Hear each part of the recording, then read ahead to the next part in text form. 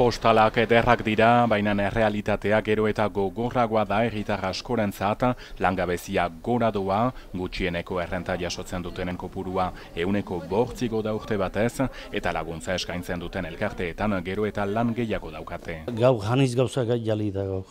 Hanitz uh, zer nahi kontserbo, zer nahi uh, jaurta, Eta arazoak ez dira bakarriko kostaldeko hiri jendetsuenetan mugatzen, pobrezia gero eta gehiago jasaten da, barnealdeko baserriguneetan. Izen emaitetan, pixkat gehiago, baina gero, voilà, kusi behar da, uh, zonbat dinen diren gehiago. Joan den urtean orotarat, uh, berrogoita hamar bat familia ginituen.